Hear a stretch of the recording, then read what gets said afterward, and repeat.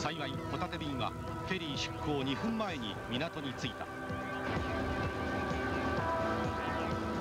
田代さんのホタテ便は青森行きフェリーの最後の客であった。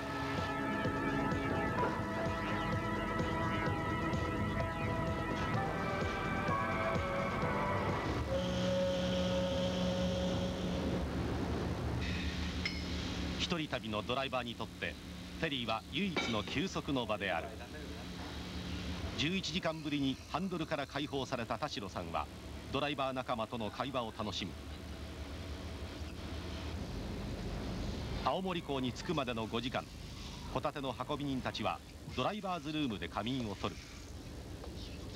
青森に着けばまた激しい戦いが始まる。その頃鶴さんは中国自動車道を走っていた。そしてトラックを追いかけるように低気圧が北上し激しい雨が降り始めた。鶴さんのカツオ便は大阪を通過。名神高速に入った。ひとひとまずあの築地向け行ってきますよ。日にち間隔なりますから。昨夜からの雨は依然として降り続いている。無線仲間の道路情報が頻繁に飛び交う調だった鶴さんの航海も激しい雨で怪しくなってきた。東京までまだ600キロも残っている。その頃築地では熱気にあふれる競りが行われていた。悪天候でカツオの入荷が減りカツオ相場は荒れ模様。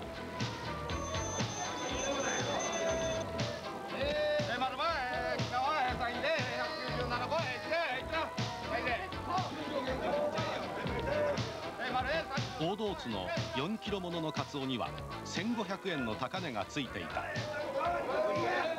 東京の入荷が100トンと踏んだもんが150トンなり200トンなり入った場合にはやはりこれは値崩れします。前のうちにですね。大体あの入荷量が分かりますんでその時にあちょっと明日は入荷多すぎますよということで一つ謝ってはおきますけど。東京あの来るまでにですね京阪,、えー、京阪神それから名古屋とやはりあの大きな収支市場ありますんで、まあ、向こうとの相場の兼ね合いであのそれは向こうで判断するでしょう。京都の手前桜井パーキングに入る。大阪と京都の間ぐらいですかね。そうですね。そうですね。大阪と京田町内です、うん、もうすぐ8時ぐらいになりますな。鶴さんは大道津漁協に電話を入れる。このまま築地に走ってもよいのか納入先を確認する。大道津漁協ですか？あの変更ありませんでしょうか？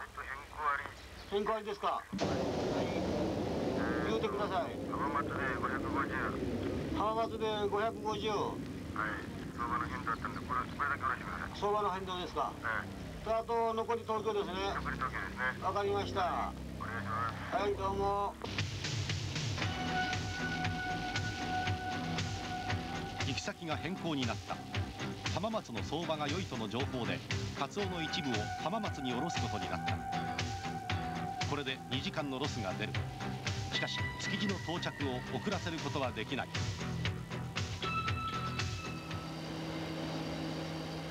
ホタテ便が青森港に到着した。フェリーで十分睡眠をとった田代さんがこれから東京まで700キロを一気に突っ走る。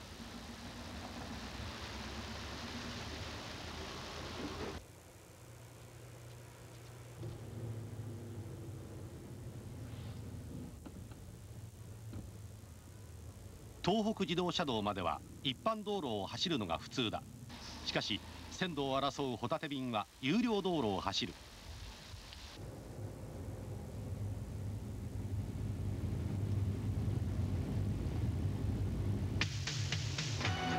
鶴さんは豪雨の中事故の多い難所関ヶ原に差し掛かっている。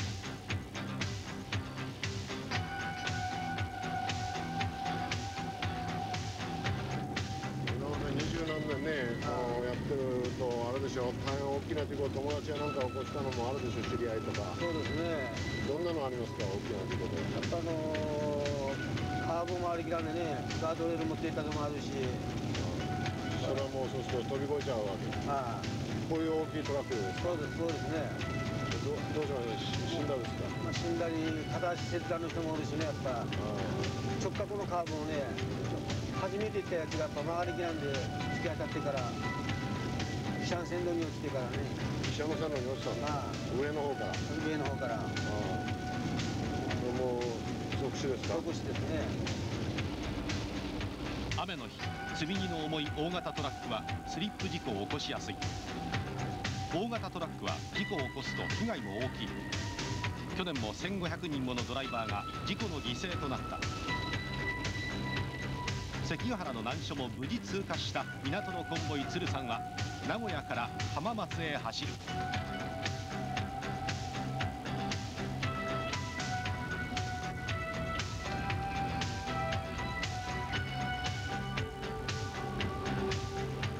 午後1時浜松インターに到着。浜松中央卸売市場に向かう。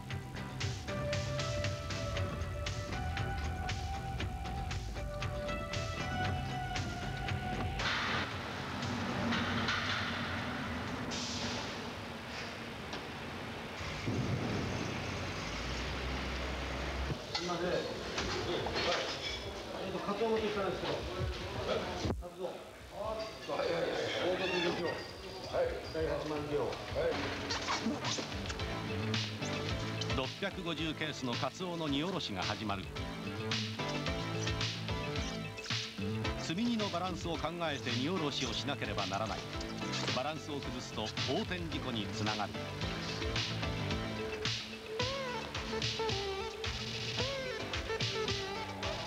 鶴さんのカツオ便は休む間もなく東京へ急ぐ。ホタテ便は盛岡に向けて国道4号線をひた走る。2日目の夜を迎えようとしている。ところで言ったら何食べる？う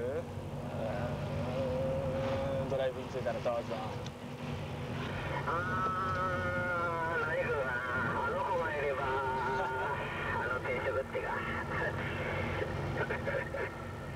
田代さんは北海道から一緒に走っている仲間と4号線のマドンナのいるドライブインで夕食をとることにした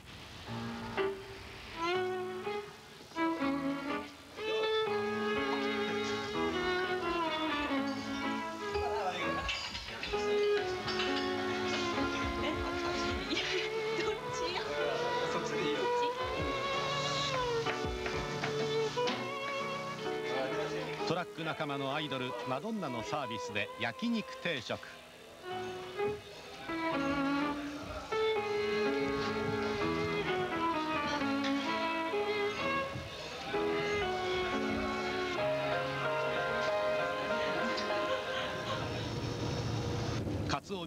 大道津を出発して24時間を経過した。これだけ長い道中ですからねはい。気を上げらさなきゃいけないでしょああそううですね。何何をやりますか？あーやっぱり子供の写真見たりね。ああ子供の写真ね。あーそれが一番慰めになる。ああやっぱ頑張らないか写真見てねカツオ船に乗っている長男とともに鶴さんの自慢は小学校5年になる次男浩二君である。俳優鶴田浩二ファンである鶴さんはこの名前を息子につけた。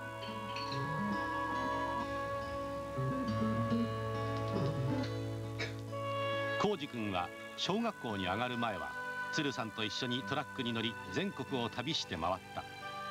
お父さんから電話かかってくることもある、はうん、よくかかってくる、い、はい、よくかかってきうん、で何か何か言ってる？お父さん。ます。勉強しろよとか言います。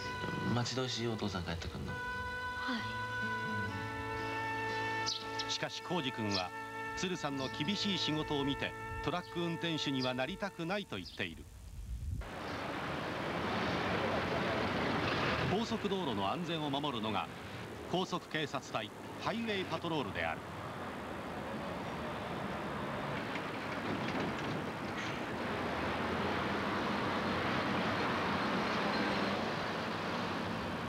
時間との戦いに勝負をかけるドライバーにとってハイウェイパトロールは煙たい存在でもある。長距離の運転手さん大型トラックを一人で運転をしてしてみる方がだいぶ多いようです。疲れたなあるいは眠くなってきそうだと感じた時には早めにサービスエリアなどへ入って十分に休憩をとってベストの状態で安全運転をしていただきたいというふうに思います。ツオ便が静岡を通過したところで事故発生を告げる標識が点灯した。鶴さんが一番恐れていた事態である。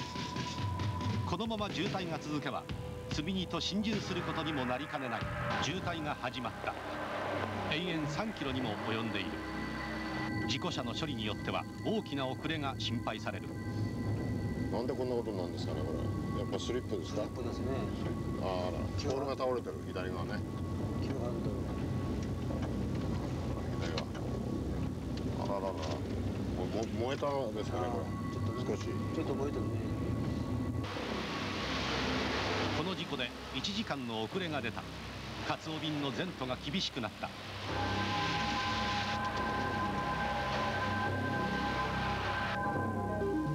競りに間に合うかどうか。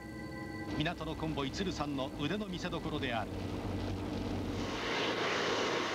鮮度が命の魚の流通はスピード化が著しい。空輸もその一つである。北海道千歳空港からはズワイガニ、毛ガニ、エビなど初夏の新鮮な味覚が全国各地に送り出されている。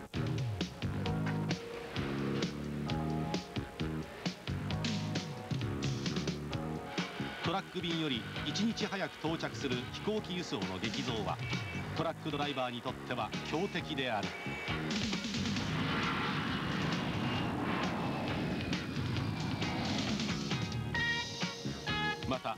これまでの複雑な流通システムを通さないで産地から直接消費者に届ける産地直送の宅配便が登場した。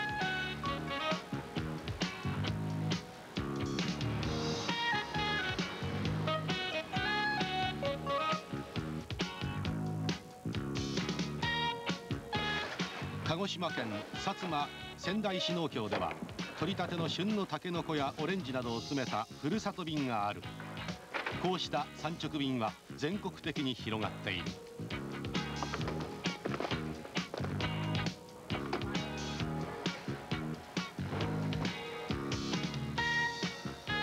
新しい流通の波は確実に魚菓子トラックのドライバーを脅かし始めている。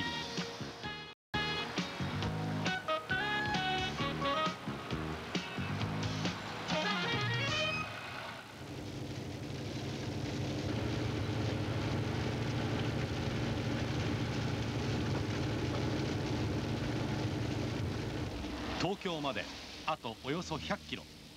鶴さんのカツオ便は東名御殿場を通過。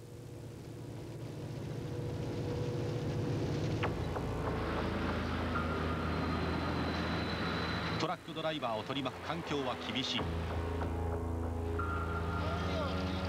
道路交通法によると高速道路での大型トラックのスピードは80キロに制限されている。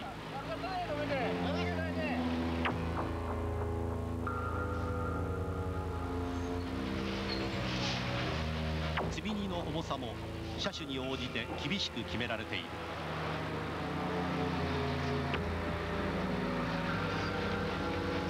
トラックドライバーの労働時間も連続運転4時間そして休憩30分と決められている。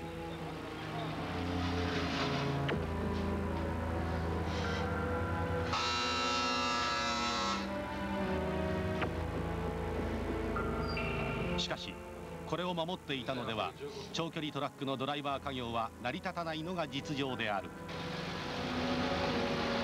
深夜のドライブインを訪ね魚菓子の運び人たちの本音を聞いてみる。積んだら競争。今ニコニコ話したけどあれだと思う競争。俺らのまあ汚い話だけどしょんべんするのも欲しい。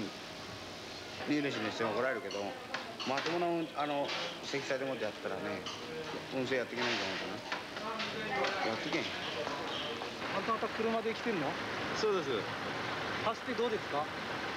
大概の車違反してるでしょ。というのはつまりあれですかスピード違反ってことですか？そうですね。ちゃんと道交法を守ってやりたいのは山々でしょうけどそんなことしたらなんていうか荷主さんの要望にも応えられなくなるような形になっちゃうのね。現実の問題として。もうやっぱりね眠くなると寝たいわけね僕たちも。特にほら一般の荷物積んでる運送屋さんの車はみんな道端とかパーキングで寝てるでしょ。ああいうの見ると僕らも眠いと無性に眠くなるわけ。だけどもほら競りの時間に間に合わせなきゃならないでしょ。競りに遅れると僕ら罰金取られるから。だからどうしても入れなきゃなんないわけね。だからいつでもやめやめなもうやっちゃばの仕事はやめたいなと思うことありますよ。眠くなった時ってのは眠気覚ましってのはどういう方法をされるんですか？やっぱりあのー、頭から水かぶるかあとガム噛むかね。タバコを余計に吸うかしかないね。ホタテ便の本州での航海は順調だ。東北自動車道を走っている。福島に入り東京まであと250キロ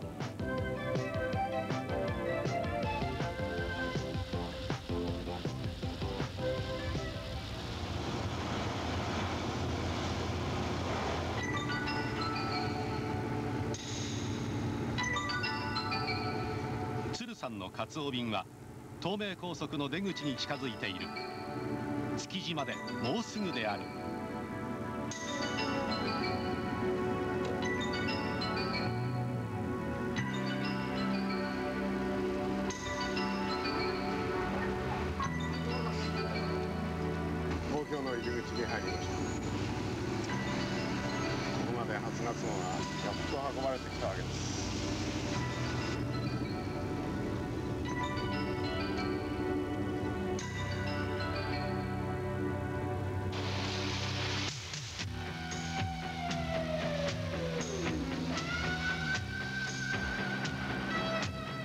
築地には全国各地から旬の味覚を積んだトラックが続々と到着。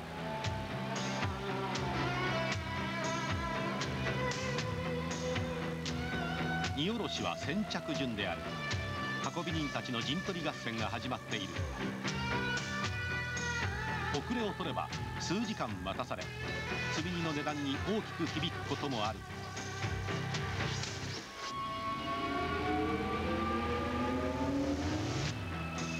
午後9時半。出発して30時間余り。港のコンボイは築地に到着した。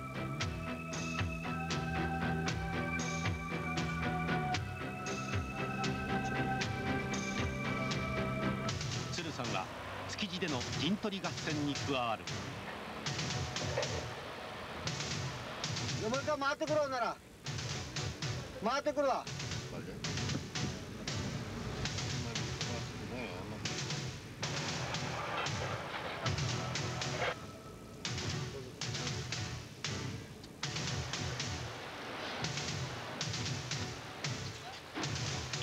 夜半1500キロの長旅の後の荷下ろしは40歳を過ぎた鶴さんの体には応える。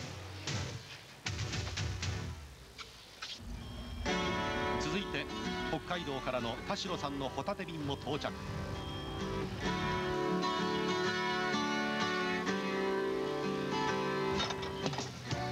北から南から始まった洋菓子トラック便。その運び人たちの航海も終わろうとしている。しかし築地での本当の勝負はこれからだ。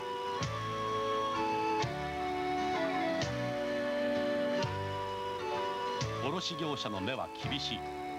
一匹一匹の値踏みが始まる。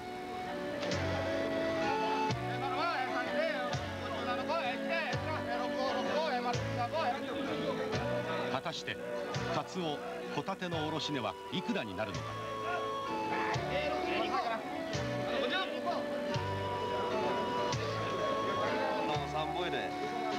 は1キロ670円。カツオは500円で競り落とされた。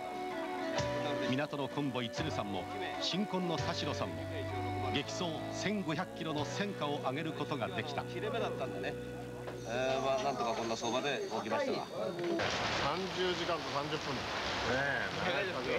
こうやってあのー食べるものをですねこれだけ長い時間かかってですね頑張って運んでもらってるとは普段思わなかったですよ。まあ、新しい魚をね東京都民の人にみんな食べてもらいたいですねやっぱりねカツオの味もねあのホタテ貝の味もちょっと違ってくると思うんですよそれが。存分に味わって食べてください、うん、だいぶありがたみが違ってくるね。初夏。旬の季節はこれからが本番味覚の運び人たちの熱い戦いはますます激しくなる。